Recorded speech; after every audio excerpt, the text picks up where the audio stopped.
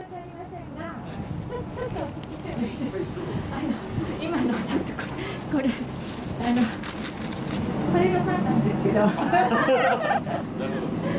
のよくね、ここにあのりょうさんいるんですか？なんて聞きに来る人がいるとかって、あやっぱりいらっしゃるんですか。はいそうなんですか。それでどう答えます。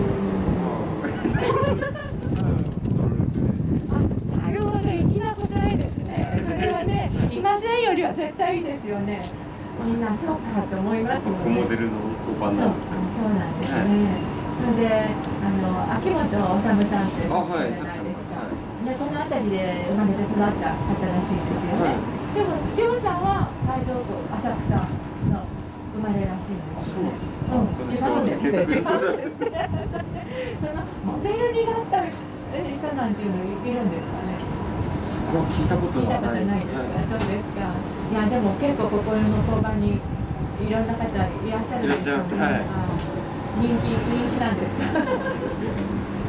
あら、あら素敵。こんなのあるんですか？はい素晴らしい。今ね公園に行ってたんですよ。あああのこうやって椅そうそうそうそう。そこのうん両方のはい両さんにこううん肩あの抱かれるように若い女子高生が一人座ってニコニコしてるんですよ。そこにもそっちにはあるんですか。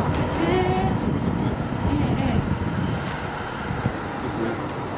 こっちをあげます。あれはあれリーコさんカトカトリーヌレイコさんですね。あすごいフルネーム私すみませんフルネーム知らなかったですそうですか。結構たくさんおりますね。そこのあのマンホールもホンダさんのマンホールのやつですあそうなんですか。うん。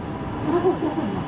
今日高屋と本屋さんの間にマンホールありましたね。あそこに本田さんのマンホールがあったりとかしてはいそうですね。もう影あるよね。なんかあの近めで決まってるって感じですね。南口は行かれましたかまだまだあすごいあの三人いましたね。中川っていう。あーそうですね。はいとそうもはいカトリーヌ玲子さんりょうさんとでりょうさんと三人がお祭りの格好のした金の像もありますあそれも近くなんですかはい近くに。